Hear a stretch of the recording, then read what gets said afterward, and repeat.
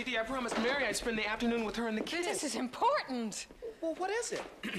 Look, we love what you're doing. You're doing a terrific job. Keep it up. You have a slight image problem. Uh, what's the problem? You're just not black enough.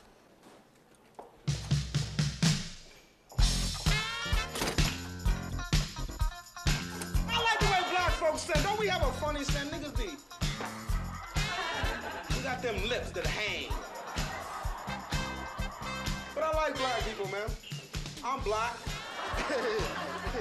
yeah.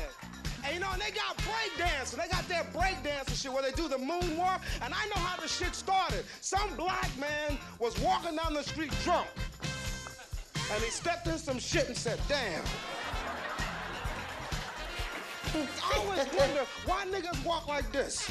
You ever wonder that shit, man? I found out why, because we go to jail. And niggas be trying to keep motherfuckers off their ass. Yo. Yo, what it look like? My man, yo, what it look like? My man, yo, what it look like? My man, yo, what it look like? Shit, shit, shit, shit, shit, shit, shit. How come black men always hold their dick? There's just something about standing in Harlem on the corner and just hold your dick. Or I forgot I'm black. Hold your dick.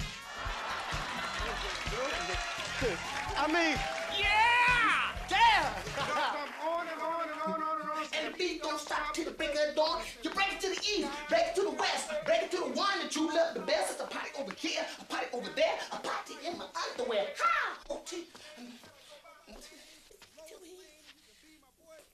What you want, nigga?